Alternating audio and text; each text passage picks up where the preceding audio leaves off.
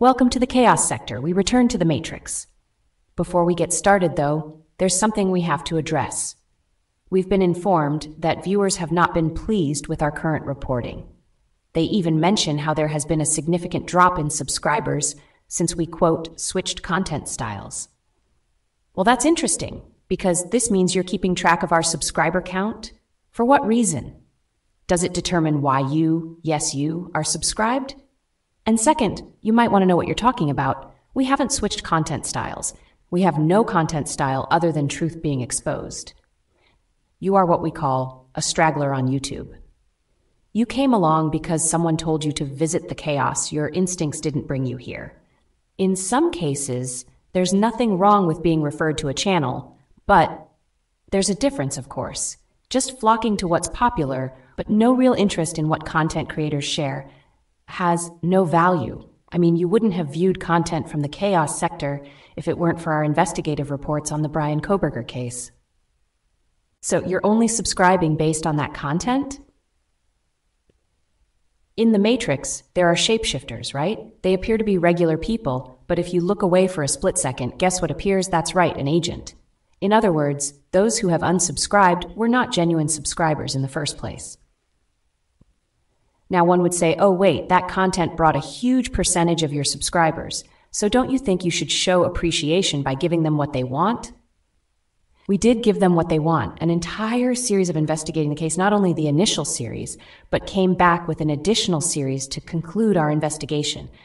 And that work, yes, work, was almost two years of covering that case. I mean, what else do you want? The trial is being delayed because channels like the Chaos Sector investigated, found oddities, came to a conclusion he had been framed, others had also exposed it. And now the court can't truly move forward because the prosecution is stuck without any evidence against him. And they are trying to sweep the trial under the rug now, but initially it was one of the biggest cases in the nation not too long ago. So, you know, the true crime community can continue harboring over it, but we choose not to keep going through that revolving door. There are many issues to address which you should appreciate society, politics, technology, global issues. I mean, don't you think this is valuable content? Don't you think that's worth subscribing to? Well, if you're not a truth seeker, then your attention span towards that content is very low. No offense, but you're proving that. The chaos sector is not a true crime channel. I think we expressed that enough in the past. If that's all you care about, then by all means, follow that interest. Trust me, subscribers don't equate to credibility, something you need to understand. Those who seek truth will remain. So 100 subscribers who genuinely care about truth is appreciated far more than 1,000 subscribers who have no real appreciation for the creator's overall content. In other words, a hard earned penny has more value than undeserved millions. In other words, a channel with over 500,000 subscribers may not have the same impact as a channel with only 500 subscribers. In other words, don't look at one's subscription count to determine their impact. In other words, the chaos sector is not a popular channel because of the truth. In other words, the chaos sector is perfectly fine with those loyal subscribers because we know they're unplugged in the matrix, or those trying to unplug, seeking the truth. And yes, don't think we aren't aware that the thousands of subscribers came about during our investigation in the Idaho murders case.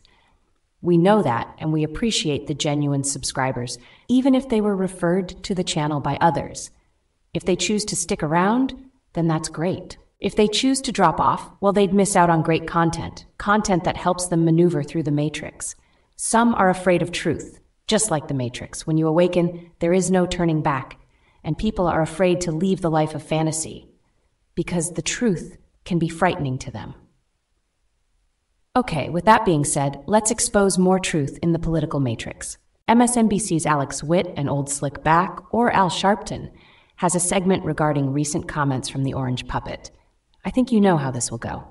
Well, joining me now, our good friend, president of the National Action Network and host of Politics Nation, Reverend Al Sharpton. As usual, my friend, in your car, getting ready to come to work, but we're glad to see you, Rev. Look, that comment about black jobs from Trump, it's got a lot of people talking. Then, by the way, the guy goes and doubles down at his rally on Friday in Virginia. I mean, take a listen to this. Again, here it is. They're taking the black jobs, people that have had their jobs for a long time are losing their jobs. And Hispanic jobs, people that have had them for a long time, they're losing their jobs. And you know who else is the biggest loser? Is going to be the unions. Um, what is Trump inferring there? He's inferring that they're taking black jobs. I mean, what else was he supposed to say? He could have said African American jobs, and to be honest, that would have been more politically correct at least. But nevertheless, if black people are losing jobs as people are taking those jobs from them, how else could he distinguish who exactly is losing those? Uh, you know what? Let's continue. It is the most racist statement that he's made in the last three days, because he's made them a long time before that. You've got to remember, Donald Trump said black jobs, and he talks about how blacks relate to him because of his mugshot. So he has criminalized blacks, saying that we relate to mugshots because we are innately criminal. Incorrect. He didn't say that. Where are the fact checkers when you need them? He stated that the black population embraced that mugshot, and they were even selling shirts with the mugshot. He never said that black people identified with him because he had a mugshot which would infer that he thinks that most black people are criminals. We've all seen the mugshot. And you know who embraced it more than anybody else? The black population. It's incredible. You see black people walking around with my mugshot. You know, they do shirts and they sell them for $19 a piece. It's pretty amazing. It's a wording game. Embracing and identifying could be seen as the same, but they could be totally different in context. Embracing could mean that he's seen as the bad guy, the rebel in politics, while identifying could mean he is assuming the black community embraces him based on relativity of the mugshot. And since we presented the actual clip, it's simply him going based on what he discovered. And this is what old Slickback is trying to project onto Trump. People were wearing those shirts, and even Charles Barkley went on Gayle King's show threatening to punch people in the face who wore the shirts. So obviously, if he's threatening to punch people in the face for wearing the shirt, uh, clearly people, that being black people, embraced Trump's mugshot. That's just the facts. And he only responded to that embrace, well, because that's what he was informed about. As always, in the political matrix, we do the whole switcheroony. If it were old Joe who said the exact same thing, the mainstream media would have swept it under the rug, as always. And the black community has always embraced Trump. From Hollywood celebrities, rappers, athletes, even from other countries, we've all seen the photos of them with Trump. He has always been a product of the American dream, a wealthy businessman who also had a cool factor to him, a public figure who loved to have fun. Most Americans embraced Trump before he became an unhinged politician. Most Americans, and especially the black community, are not the ones calling him racist, it's the mainstream media and Democrats. And that's why you have race baiters such as Old Slick back spewing the propaganda. But like mentioned before, it's all one big echo chamber. And also, I noticed they didn't mention he stated Hispanics are losing their jobs as well. Did the Hispanic community think it was racist for Trump to call them, get this, Hispanics? even though, yes, we have fought criminal justice system unfairly, he's always been on the other side, like what he did with the Central Park case. But what he won't discuss here is the people prosecuting him in New York and Georgia are black prosecutors that we voted to get in office. So that's not the system. It's those of us that rebelled against the system and got black prosecutors in. Now he uh, tries to say black jobs. What jobs are black? What are the kind of jobs that migrants, illegal migrants, are getting here? Mostly jobs that most American citizens, including blacks, were not trying to do. Nice try, but we're slicker than your perm, old man. Don't isolate blacks from the entirety of the speech during the rally. He's claiming that illegal immigrants are taking jobs from blacks and Hispanics. And guess what? It is happening. Companies are hiring illegal immigrants. It's been documented. There was a raid of many 7 Elevens where they discovered that the company was hiring illegal immigrants. Oh, yes, we have the receipts, and it's from the District of New York, United States Attorney's Office. Eight men and one woman from Long Island, New York, were charged with conspiring to commit wire fraud, stealing identities, and concealing and harboring illegal immigrants employed at 7 Eleven franchise stores located in Long Island and Virginia.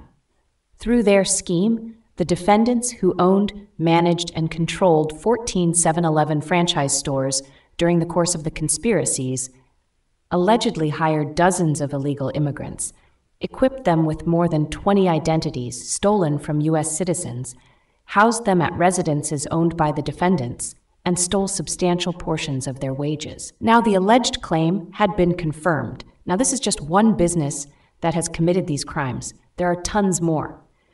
The key to this crime is the element of stealing identities, and some stole identities of deceased citizens as well.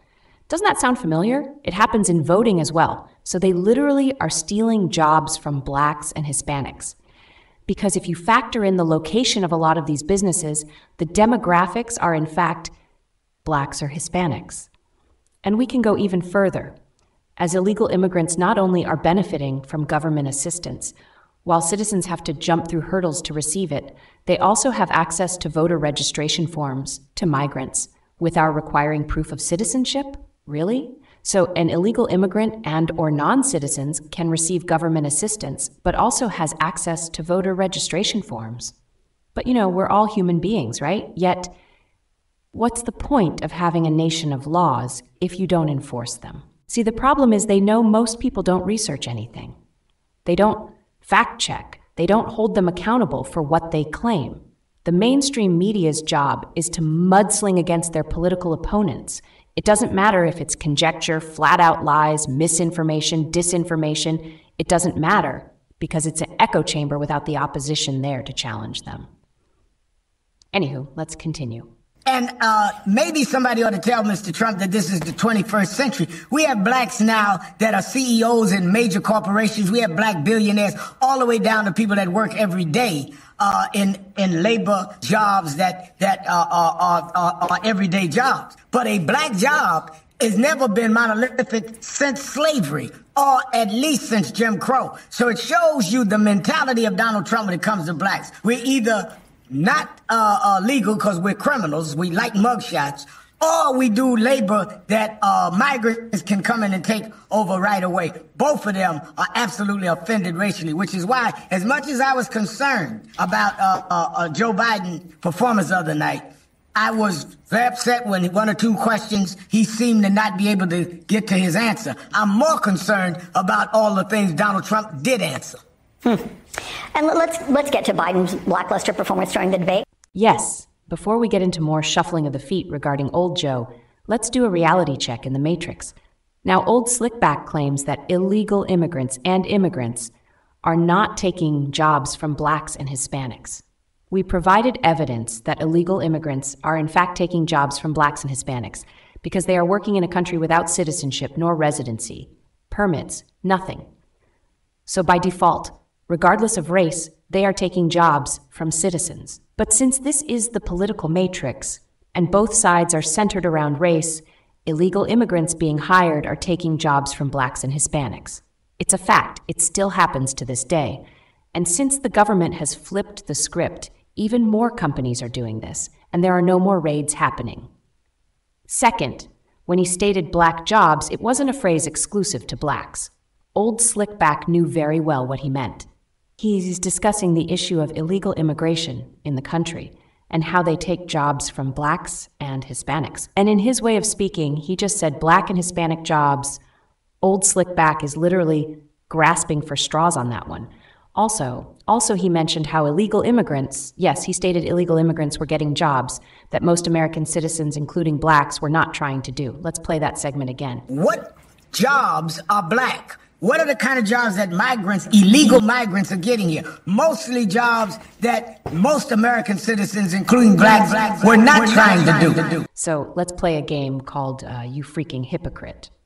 So it's a problem if Trump says black jobs in the context that you frame it, yet you can claim that illegal immigrants are doing jobs that American citizens, including blacks, won't do. So are those illegal immigrant jobs? You're basically stating that they are known for working those jobs, right? Even in your attempts to attack Trump, you shoot yourself in the foot without even realizing it. Because you know it's got many Democrats. It's got a couple major newspaper editorials calling on him to step aside. You're familiar with the campaign. And before I ask this question, let me just say I've been asking it in the two and a half hours preceding our conversation that I've been on the air, and not a one has said that it's likely he will step aside. Do you join that group? Do you think he should not step aside? I think that uh, uh, he certainly, uh, unless there's some things that we don't know health wise, and I don't believe there are, should not step aside. He should not be forced to step aside because he had a bad debate. I ran in 2024. People have bad debates. Uh, I think that it was alarming, but I don't think it was disqualifying. I just flew back into New York. I preached this morning at, in Winston-Salem, North Carolina. This is in uh, North Carolina. Those people in that church are not uh, talking uh, to me when we were in and out about Joe Biden or to pull out. They were more offended on, on uh, Donald Trump acting like every problem in America is because the migrants came across the border. Oh, so when you're dealing with addressing a pandemic that he mishandled, the migrants caused that? The people that died because of his mishandling, the migrants caused that? Let's really put this insanity into perspective. What we will do is combine segments of the conversation to form a response. The question Do you think Bernie Lomax should not step aside after his performance? Do you join that group? Do you think he should not step aside? As much as I was concerned about uh, uh, uh, Joe Biden's performance the other night, I was uh, uh, very upset when one or two questions he seemed to not be able to get to his answer. Uh, maybe somebody ought to tell Mr. Trump that this is the 21st century. I think that he certainly think that he. I just flew back into New York. I preached unless there's some things that we don't know health wise.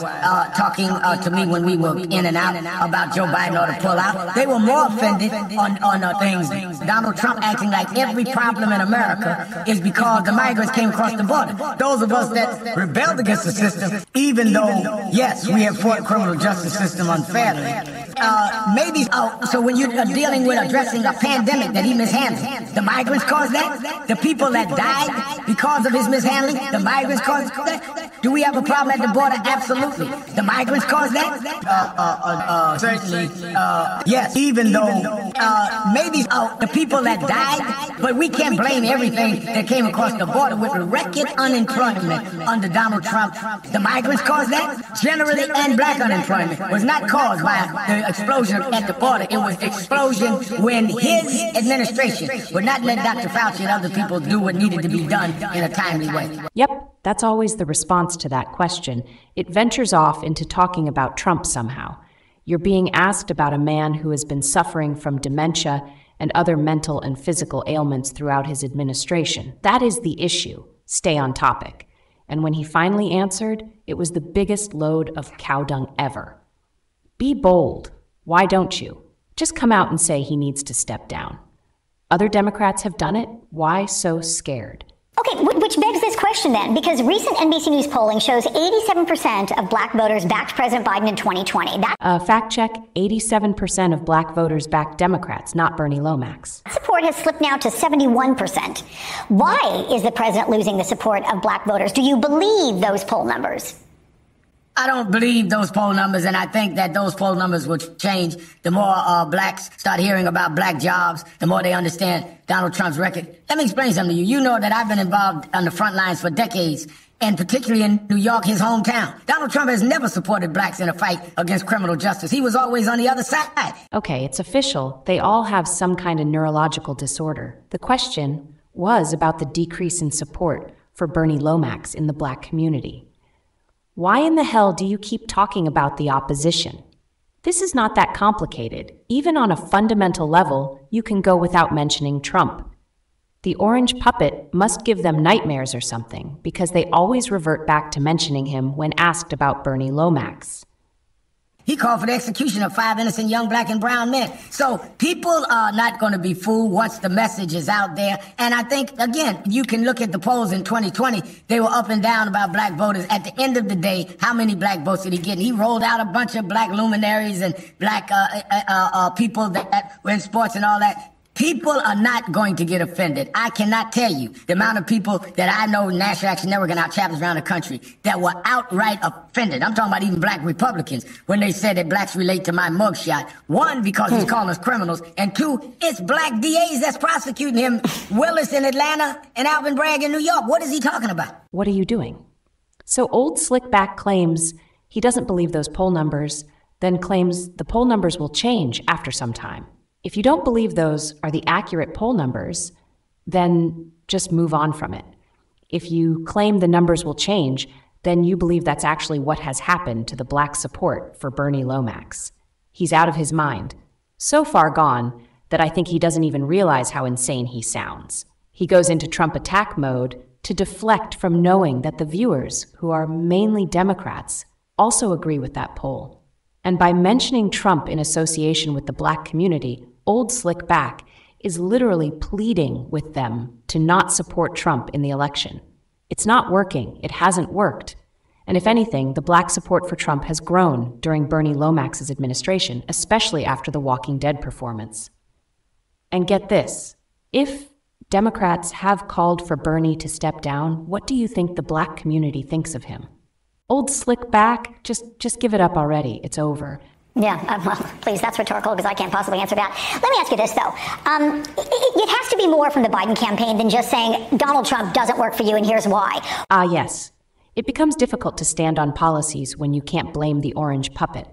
Now you have to explain what policies does Bernie Lomax actually propose that benefits the black community.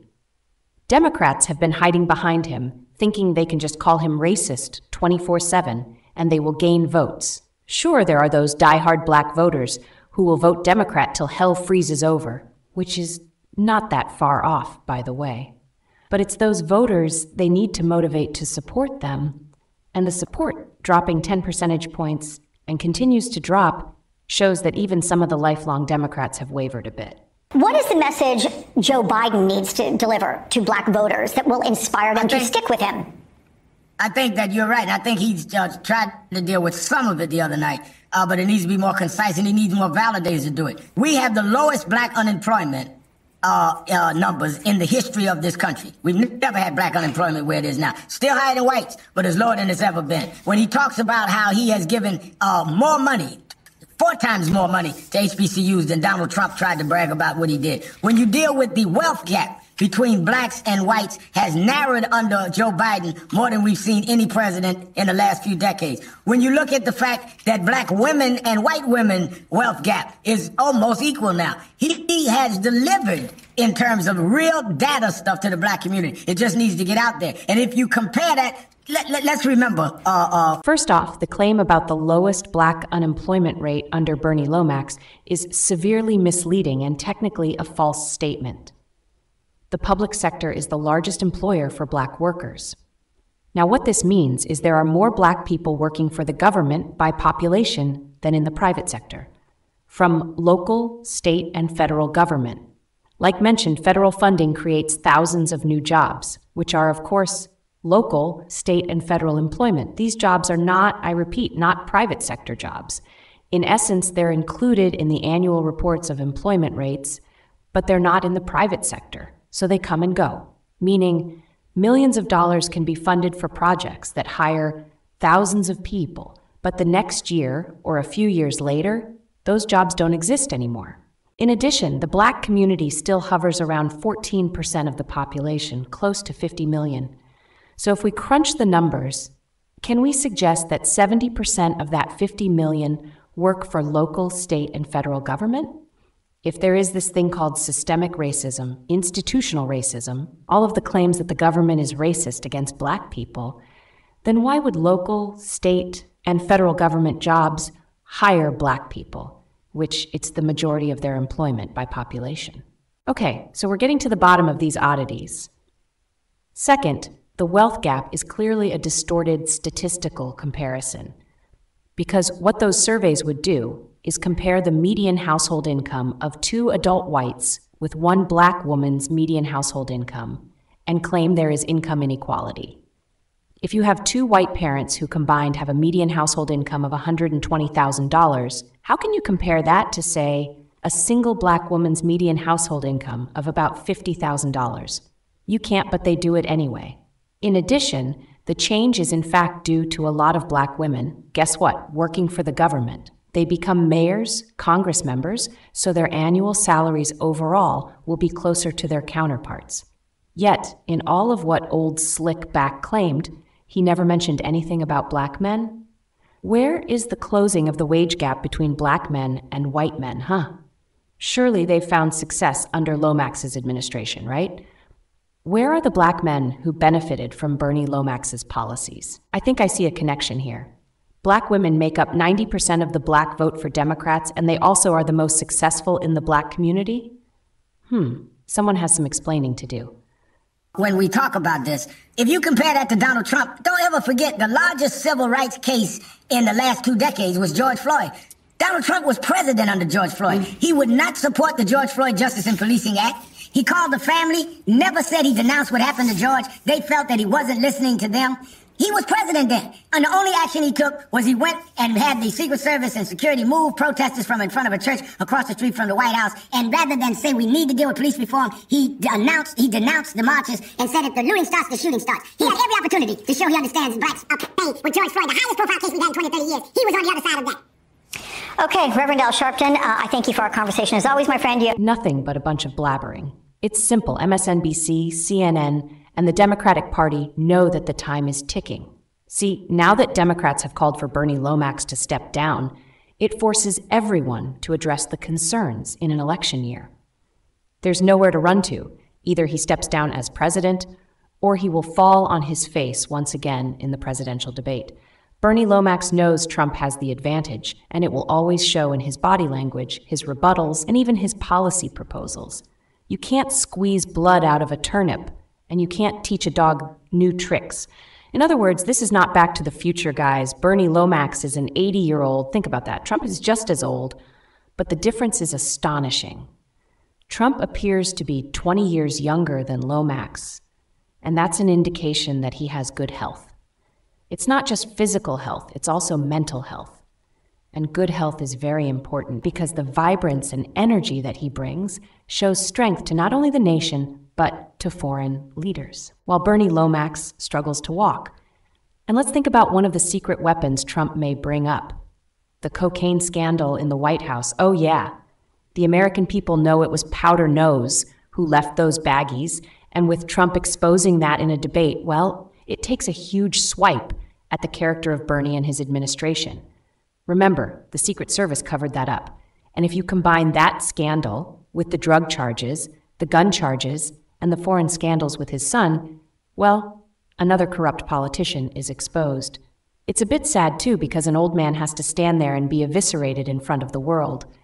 But hey, it's politics. Whoever enters the lion's den expect to get gobbled up. And this is why many Democrats are urging Lomax to step down. They see all of the attacks Trump has at his disposal.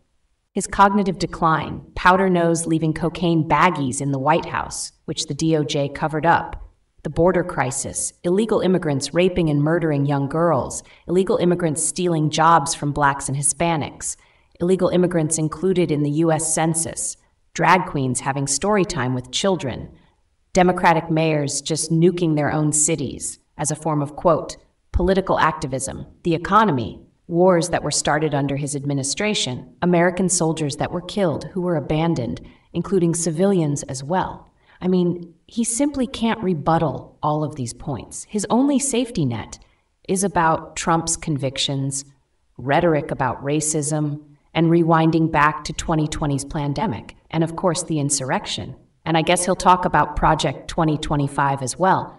These all have rebuttals from Trump. It's not going to work this time around because it is starting to sound like he's whining, and Democrats as a whole, for that matter. The mainstream media can't avoid the epic destruction that awaits them, and we will help them get there just a bit faster. This is the Chaos Sector,